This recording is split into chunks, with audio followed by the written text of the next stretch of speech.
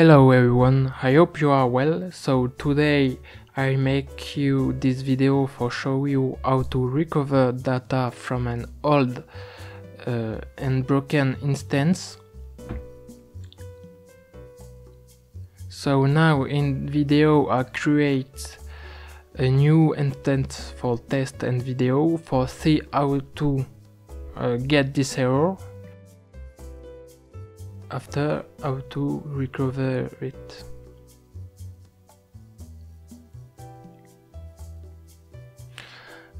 The instance is created but I can't connect for now.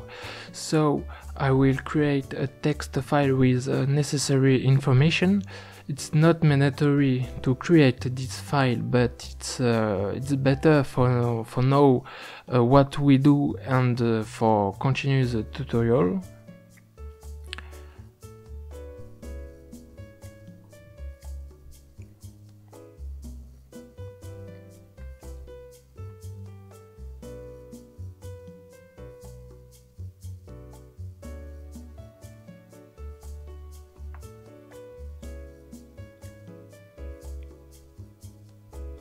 now I can connect to this instance. And uh, I will uh, I will search if uh, any firewall is already installed. It's not. So I will uh, check status it's uh, not activated. It's not installed. So I will install the firewall UFW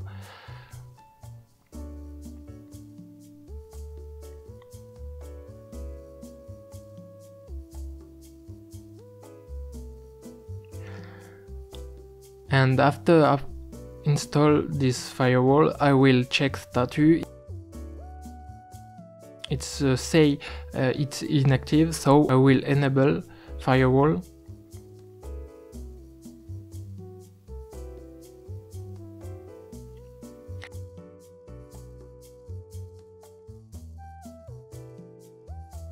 firewall say me uh, connection can be closed. So uh, no problem. After you after I enable I close this instance and uh, like you see in video when I reconnect to this uh, instance uh, it's not working. I got this error upstream not found.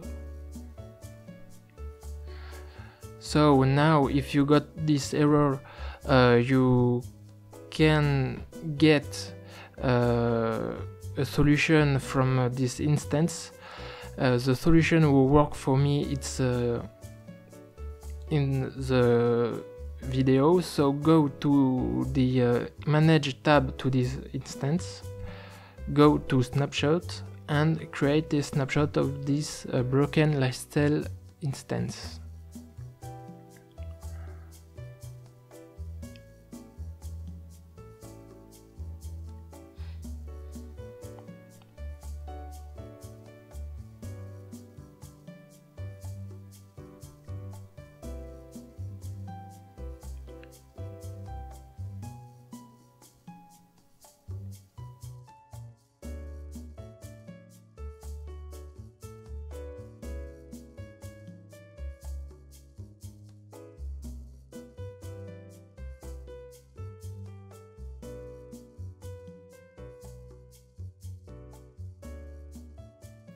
once snapshot is created you need to click on the right three point and you need to click export to Amazon EC2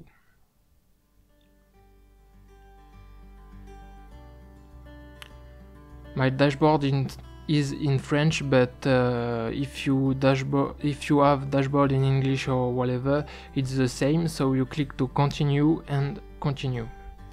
And uh, now you can wait because uh, export to uh, Amazon EC2 take sometimes. You can check time at bottom right. Once it's exported you go to your EC2 dashboard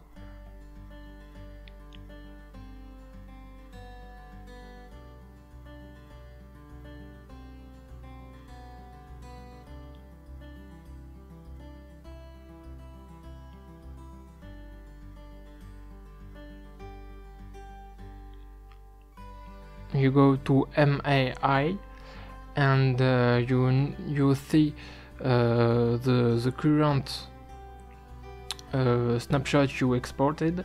So you need to go snap ID snapshot ID so you go to uh, tools tab at bottom and you uh, copy your snapshot ID it's very important for continue the tutorial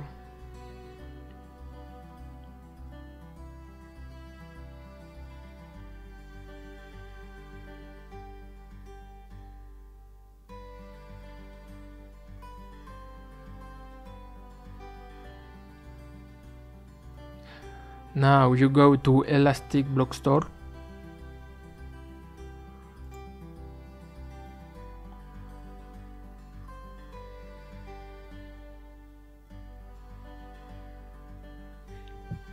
Now on Elastic Block Store,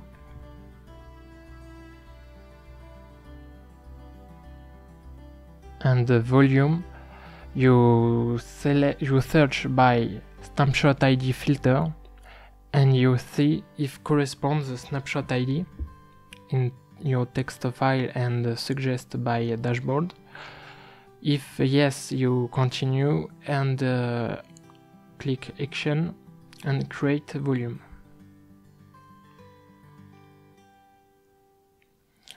So now uh, it's important to save your availability zone because your EC2 instance and U volume need to be in the same availability zone.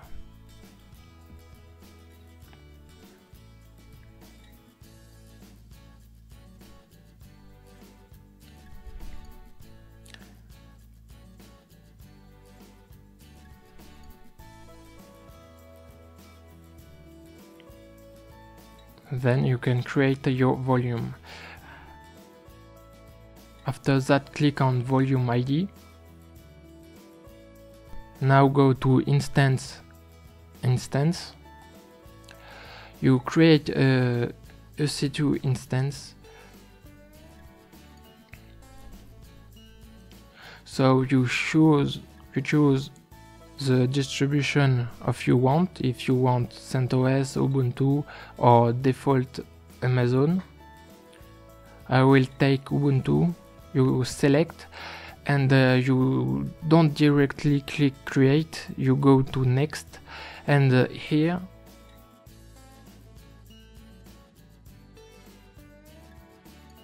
you need to select availability zone the same as your volume ID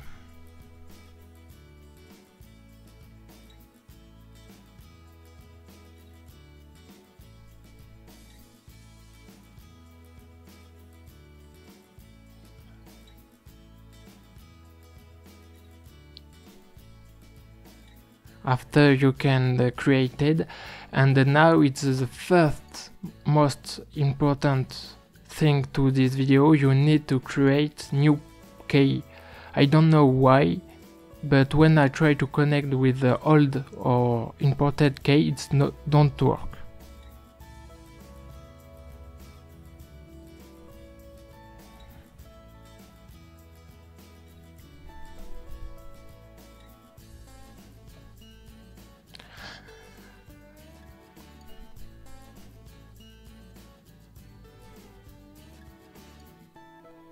Now your EC2 instance is created, so you need to connect it. Before that, we, we associate your volume, your previously volume created to this new EC2 instance. So you go to Elastic Block Store and your 20 gigabyte of uh, memory it's your Lightsail imported. And your 8 gigabyte it's your current um, disk space. You need to know uh, which uh, which line is it. You can refer to snapshot id and uh, you right click and you attach volume. And you select your EC2 instance Now connect to this instance.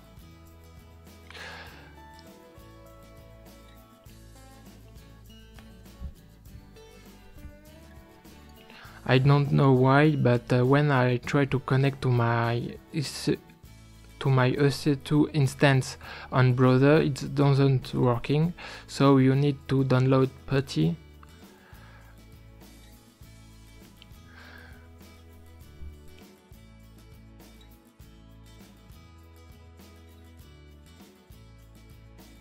You copy your public DNS, you paste it in the uh, host name and save saved session.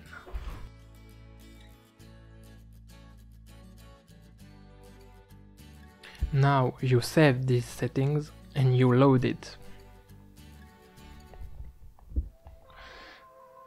Then in Auth tab, you select your key, your private key,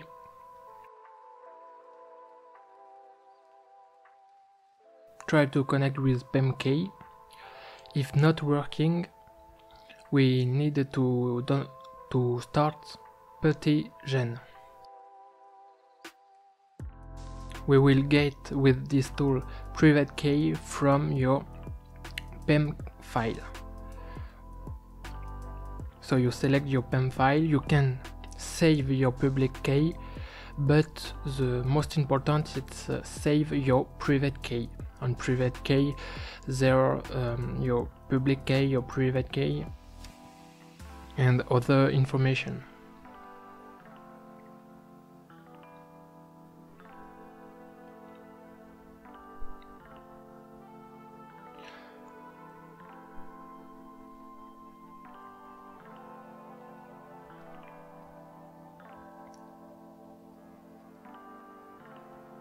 After save your private key, you load your settings. And and in SSH authentication tab you load your private key.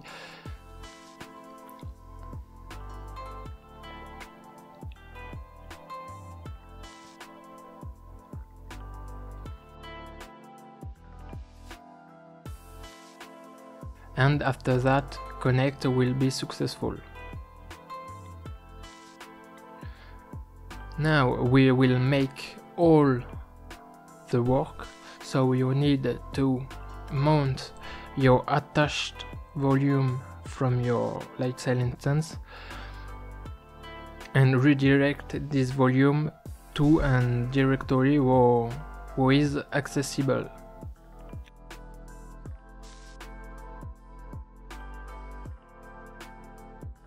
Then you type sudo mount slash dev slash xvd f1 slash mnt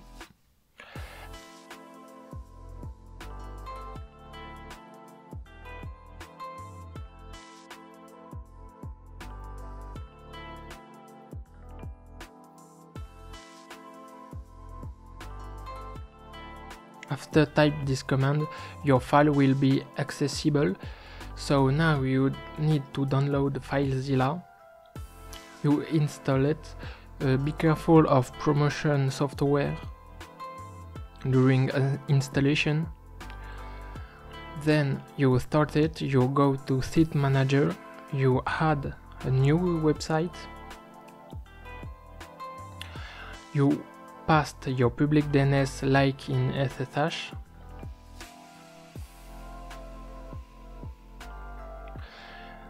You put 22 ports because I don't know why because the 21 don't work properly. Then you select K authentication method. So if you are on Ubuntu distribution, uh, username is Ubuntu and you select your private key.